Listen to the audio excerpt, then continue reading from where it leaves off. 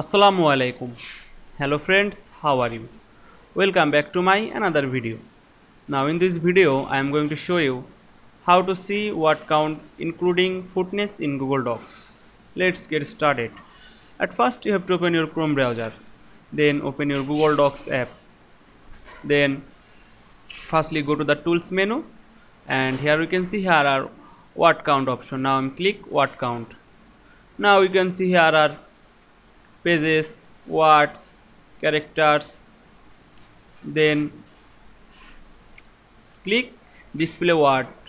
Count while typing. Now I'm click this and press ok. Now here we can see the word count on the footnotes. You can hide this.